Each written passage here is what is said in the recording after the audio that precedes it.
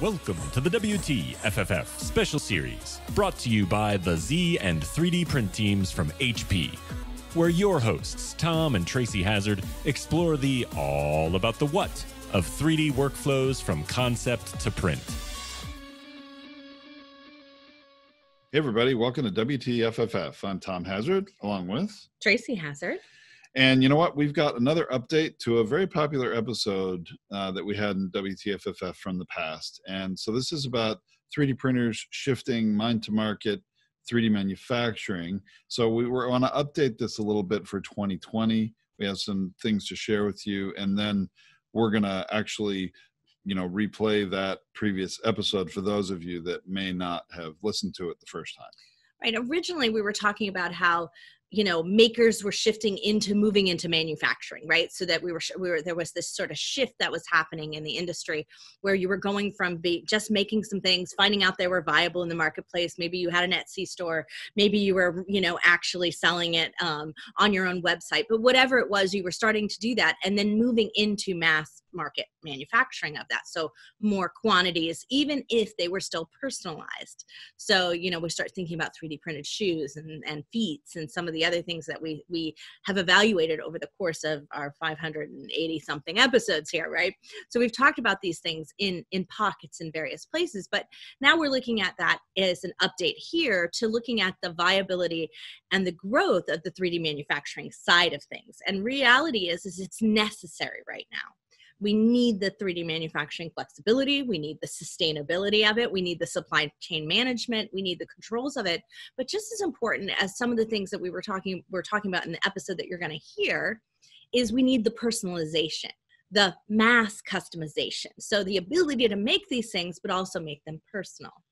Well, making them personal, and in addition to that, Tracy, you know, distributed manufacturing. You know, there is a lot more 3D you know print manufacturing capacity that is distributed worldwide than there was when we recorded this episode. I mean, certainly, like you said, with makers, individuals had 3D printers and they were able to make things locally. But now you've got a lot more of a manufacturing infrastructure. And we've seen how that a lot of that has applied to the manufacturing locally of valves for hospitals in need of IV drip valves and, and the PPE sort of aids and masks and things that people have been making here for the needs at hospitals with COVID 19. So, certainly, the infrastructure is much more robust than it was absolutely and and we're going to be talking about in some upcoming episodes that haven't aired yet so you got to stay tuned for those. But we're going to be talking about post processing techniques materials textures how we simulate them how we create them in the computer how we then print them out and make them viable right? So we're going to be talking about some of that in these upcoming episodes and and these things go hand in hand because they were some of what we were critical of in the beginning of it that were holding back that sort of more full scale manufacturing process. So a lot of these things have been solved over the last i would say 5 years and they've really come to a place at which it makes it very viable to run a 3D manufacturing uh, operation of any kind. Now, I want to step back though and just mention a little bit more about that uh, mass customized idea and that sure. personalized idea because I think we need to step one into that further. And I think there's some really amazing things that we have reviewed and we've talked about on the show before. Like we talked about printing 3D medicines, right? 3D printing medicines that would be special release, that they were custom printed for your body, so they were the right um, amounts, they were the right mixes of it. So, you know, really talking about dialing in 3D print medicine and, you know, thinking about these things and, and not just that as a, that's an internal example of it, right? But thinking about it in terms of a personalized fit, function, all of those things, right? We start to realize that so much of our world is dominated by being designed for a six foot male. You and I know that because we designed office chairs for so long. And the major innovation that we came up with was wow, let's make them a little bit more adjustable. Let's make the arms move up so you can scooch a little closer And if you're shorter like me, right? Like that's how we came about to looking from it from a design perspective. And all of a sudden the market went, thank goodness there's stuff for us, right? And there is such a need for that in this broader product based and in, in even industrial product based, right? We're looking for customized solutions for everything that we do. And so being able to do that at the end of process is or at where you do most of the parts for your product might be manufactured, but then you're adding 3D components at the end. Like those are viable and really exciting changes to the whole manufacturing cycle. Yeah, absolutely. And you know, we've also seen some things like that. Talk about mass customization, Tracy. We've seen that with footwear. You know, remember with a company like Wiivv, and they're manufacturing certain parts of their shoes, their sandals, uh, orthotics, whatever, that are are pre-manufactured, and then, like you said, end of process customization. And uh, I, I do see that increasing. I mean, people not only are really not going out to you know the big box retail stores as much as they were to no. to buy things and even when they do like you said tracy it's it's you know you get one choice maybe two and there's not a lot of color and there's not a lot of fit know, choices. size accommodation right? Right so you know we're starting to get into this world where we expect thanks to digital apps and all kinds of things we expect a really personalized experience. So consumers are starting to get um, and businesses for that matter if you're doing business to business sales right? We're starting to get really dissatisfied with this with companies and products that don't understand us that don't get us and that's really sort of paved the way for this mind to market shift that we've been talking about, right? It's already shifting consumer behavior in expecting this. So when it doesn't happen, there's a disappointment level. And so that's where 3D printing is so br- brilliant, right? It's so flexible. It gives us so much opportunity, but now the design tools are keeping up with it the how we deliver to people like the ability to provide customized shopping carts and customized shopping experiences right? Those are happening as well. So you know thank goodness for companies like Wiivv and Feetz and those kind of people who have been paving the way for all of that right? So we can take measurements on an app on our phone and then create customized response that gets made and delivered to us and tracked for us so we can see our personalized you know product being made. So like all of those things have really shifted that mind to market and really making the 3D manufacturing on a personalized and customized basis. You know, it's really supplementing where the makers start testing it and then we move into the manufacturers who can start making it and really delivering these absolutely personalized 3D print solutions to people it's really exciting and I'm I'm pleased to see where it's going and I think the future is just as bright for 3D printing as I thought it was when we started this pod or maybe I should say as I hoped it was when we started this podcast. That's right. right. You know, and and I think that it also leads to something we talked about earlier in the series, the sustainability of things, right? Mm-hmm. Less shipments, these you know, these types of delivery systems of being able to manufacture close to the consumer gosh, that's going to be so amazing. Or in your facility, if it's a business to business solution, right? Being able to do that and lower the transportation costs, lower the material usages, lower all of those things really makes for a sustainable business opportunity in the future. Well, I couldn't agree more, Tracy. Well, you know what? I think it's time to replay that episode. I think you're going to get a lot of value out of it, but I think it'll be interesting to think about what we said then in the context of today. A lot of it definitely still applies, but there definitely is, I think, some new opportunities here. So let's listen to 3D printer shifting mind to market 3D manufacturing. I like the subject today because it deals with really paradigm shifts, doesn't it? Yeah. I mean, we were debating this off air, and so we thought we'd bring this on air. And the idea is that there's been this sort of tug of war between makers and manufacturers, and who's going to make the most of 3D printing, and who kind of owned tipping it and making it happen and getting awareness for it. And my perspective and what I've been kind of not arguing, but a proponent for is the idea that makers may have pushed the reality of 3D printing into saying, this doesn't just belong in prototyping anymore. This belongs in end product making. And now we have to push it out of the maker's hands and back into the reality of market manufacturing. So using 3D printing to make real products.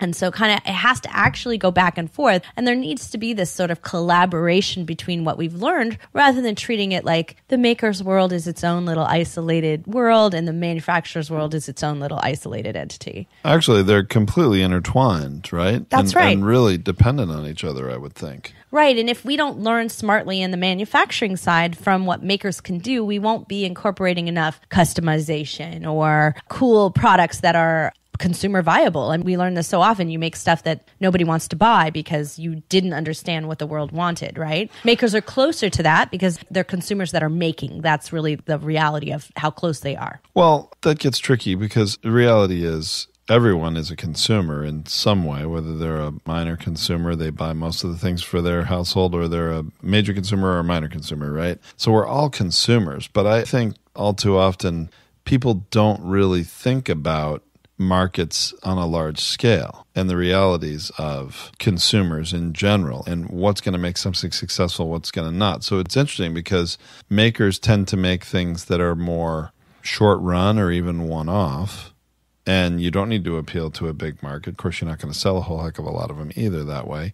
But I think definitely 3D printing is uniquely suited to make a quantity of one over and over and over again in different ways. Right. It's a great bridge to the two worlds. And that's what we've seen from it from the beginning that the opportunity is there for you to do the whatever can pay the bills and make the money by manufacturing them in multiples, but also be able to have this wonderful customizable option and have those things built into the system in which you can do both at the same time, that they don't have to be mutually exclusive. And I think it's true that makers in the United States, just speaking in particular about the United States, but it's probably true of many really modern industrialized countries, not what are considered to be the major world factories at this point, like China and other Asian countries. But in the United States, makers really have paved the way for manufacturing to be relevant again in areas where manufacturing had completely died in this country. Right. I mean, you're able to make it localized again. You've given demand to products and materials that weren't there before and are back again. So, yeah, I mean, it just the idea of that it's worth waiting for something that's special just that in and of itself, that mindset shift has been critically important. That not everything has to be delivered in an hour by a drone. It could be, you know, three days and it's still personalized.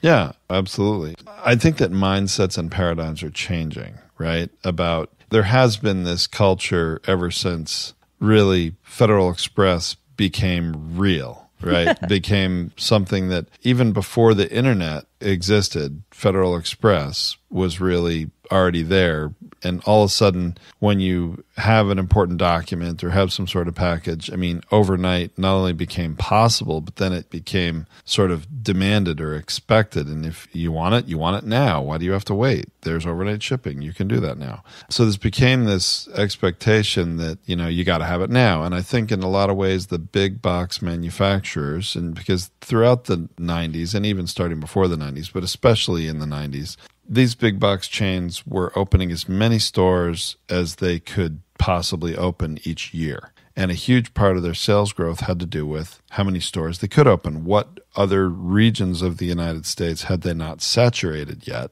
that they could put more stores? And then as you shift into the 2000s, they do get saturated, right? And there's no more places to expand, and their growth their entire business model of growth has to change, right? Right. In this case, they just try to acquire their competitors. But it's still happening. That's the really interesting dichotomy because there's been all these reports about how Amazon has now proliferated so many warehouses in so many areas that they're essentially within two days of almost every consumer in this country. Oh, they definitely are. Yeah. And that kind of proliferation wasn't happening unless you were Walmart before that. So, you know, you want to look at what's going on is that that's happening on one hand, but at the same time, we are as consumers, thanks to makers and thanks to Etsy and other places like that, shown that that's viable and we are interested in the idea of having something special that isn't just available sitting on a warehouse shelf somewhere. Absolutely. And I think actually it's been now a couple decades at least of sort of experiencing American consumers experiencing big box retail and the fact that, well, they don't have exactly what they want, maybe necessarily. It's not in the exact color they want or some other feature, but it's what's there, it's what's available. And so they buy it sometimes reluctantly, if it's not exactly what they want. That I think that what's happening now is actually a response to what big box retail has conditioned the mass American consumer to, and that everything you buy there is vanilla. I mean, maybe vanilla and chocolate, but that's about it. You certainly don't get 31 flavors of everything. That's maybe too old a reference. But I also think that there's an interesting thing that we're not talking about about it. The fact that there's, there's a larger portion of makers that are women Whereas in the manufacturing world, 85%, I just read the report, it was out that 85% of engineering and designers in that consumer product world are men. Yet consumers are 85% women. Well, I agree with that. And we've recognized that's been a problem with why so many products. I mean, bringing a product to mass market retail is a very risky proposition because it takes a huge amount of dollars, takes millions of dollars to develop, manufacture, and distribute that product. And not just for the manufacturer, but for the retailer. A retailer commits, like a Target or a Staples or something like that, commits to putting one single SKU at retail. It means that it's going to take five to 6,000 thousand, depending on what it is, maybe as many as ten thousand pieces if it's a really small product, and they're going to carry a few more of them per store just to fill that pipeline. That's millions of dollars committed. It's a big bet you have to make, right? But in that process, though, when you have someone who's in control who doesn't have a core understanding, and in the case of, for what we were talking about, it's not only a highly imbalanced in terms of men versus women, but it's imbalanced of people who are even in the country in which they're selling into. So we have a large portion of Asian engineering and design happening for an American market. So not that only they don't understand. that they don't understand, yeah. and then there's a gender difference on top of that. So when you have those things to compound, it's really where, in a sense, makers are saying, hey, a lot of us makers are women. And in that maker process, we've proven that there is more traction to better quality, better personalized, better connection to what women want to buy. It makes for a better, more viable product long term. And it's not a risky proposition. Right. No, I agree. I think that that's been, you know, there's a lot of issues with what makes it risky at mass market retail. And part of it is just the financial commitment that I was talking about. But the other big risk is if you don't put something out there, that 85% of the shoppers in that store want to buy, guess what? 15% of the shoppers are not enough for a product to make it. You got to appeal to more people. And that's hard to do because everybody doesn't want to just buy vanilla. So I agree that makers and the Etsy community and all this have been a response to that. And certainly there are a lot of women makers. They've probably, I don't know if they've outnumbered men historically, but certainly more of the retail supply chain, if you will, for makers has probably been the Jo-Ann Fabrics of the world, the Michaels Arts and Crafts. And I think more women are definitely shopping those stores than men, no question. But the 3D printing, the arrival of desktop 3D printing, especially, has brought a lot more men into the maker community. And there always have been men. I mean, the urban workshops of the world and the people in carpentry and in some of these harder materials, there's always been more men than women in making in that sense. Okay, so if we're going to go a little bit sexist here, which Tom and I it's are not more sexist, it's just reality. Right. But Tom and I are more than willing to go there because we have these discussions all the time and and it's important to just like call out that elephant in the room. I mean, yeah, that's I the reality of it is it's just the reality. I think that, it's a believe me, I think it's a shame that there aren't more women engineers and more women designers. I mean, when I was in industrial design school in college,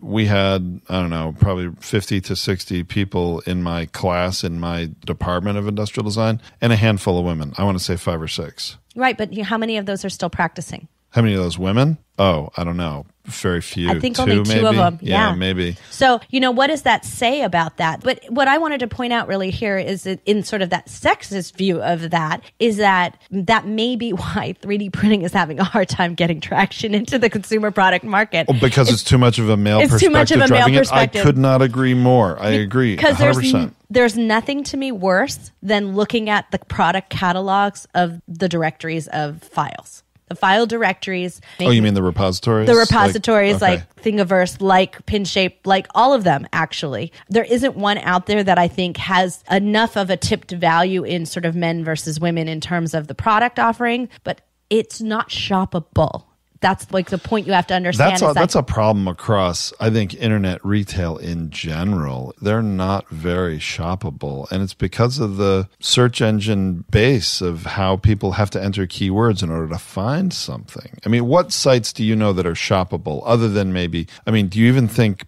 Pinterest, which is decidedly a much more female traffic? Uh, Pin, Pinterest, the one I'm yeah. thinking of, yeah, Pinterest, the image site that's a much more probably female trafficked site. Is that even shoppable? No, I think it's failed to be shoppable, but not because women aren't sharing the designs there and they're not excited about them and they aren't, but they're not shoppable because by the time they hit Pinterest, they're already out of the store. They're already gone. So there's no place to actually transact and buy them. It's the number one complaint I hear from most women who are on Pinterest. So it's So it's it's a wish list site of something you want, but you can't find it. you can no longer have. Yeah. Yeah. And how frustrating is that? And so what it is, is it actually has a backlash against those companies that, that try to sell on there because by the time they get in there and they get the traction you need and the viralness necessary to get enough attention, it's gone. Hmm. And so that's where it would never happen in a 3D printed world because it's never gone. No. Well, so that's where it could work out really well, but no one's trying that to take advantage of it, and they should. Like that's really a part that's missing.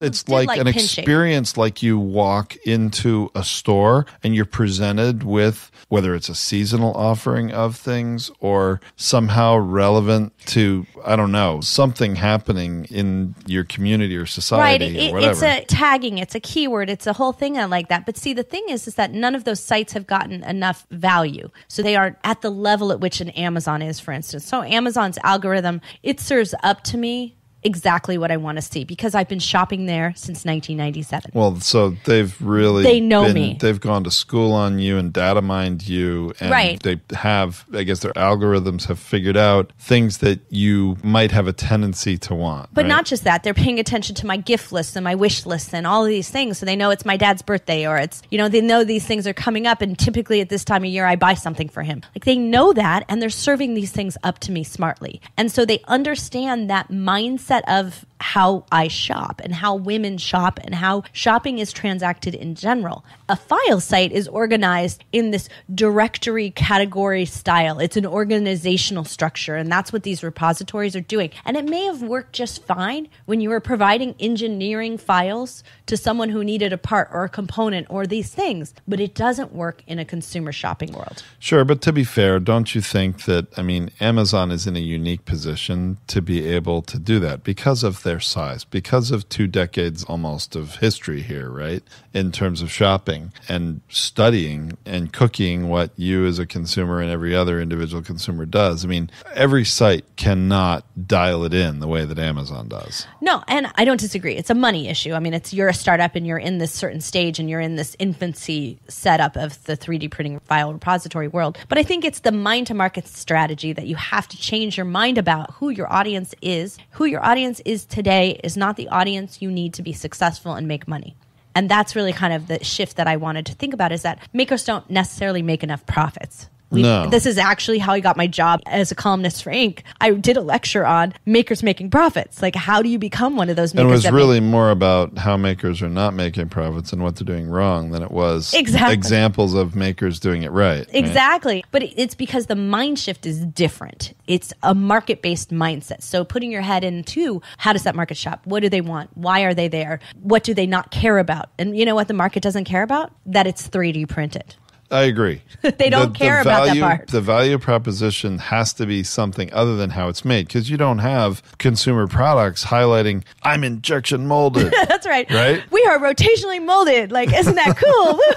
Woohoo! No. So why are we highlighting care. 3D printing, right? right? It's like it's what is the real value proposition and why should I as a consumer care about your product versus the thousands of others that I get bombarded with. That's right. It's the perfect gift for my dad's birthday. Like that's how the mindset works. So when we can start to shift that and bring in that market and manufacturing mindset that has worked for a while and bring that into the abilities that the maker world has pointed us to, the opportunities of that. That's the real power of the future of on-demand retail 3D printing. And I think we're seeing lately, and I don't know when this episode is publishing compared to some others that you know we've already recorded, but I'll tell you, we're seeing some pieces of the puzzle here and there being done right. Yep. And it gives me great excitement and also anticipation and hope. And, you know, I'm not one to hope really much at all.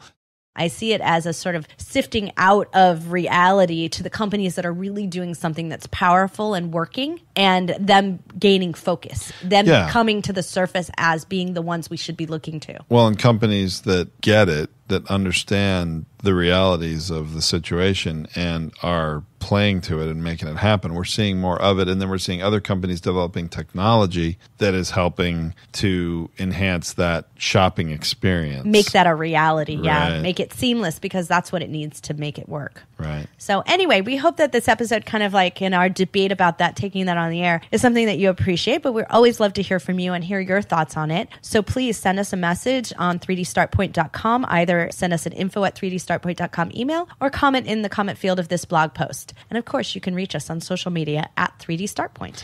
Yeah, there's so many ways to reach us. If you have something to talk about, you really have no excuse. Come on. So, Come talk to us well, thanks for listening, everybody. This has been Tom and Tracy. on the WTFFF 3D Printing Podcast. Thanks for listening to the WTFFF special series brought to you by the Z and 3D print teams from HP. You can access all the resources mentioned in this episode and all the other episodes in this series by going to 3dstartpoint.com slash HP. We invite you to reach out to us on social at 3D Startpoint and at Z by HP and let us know what you are creating in 3D.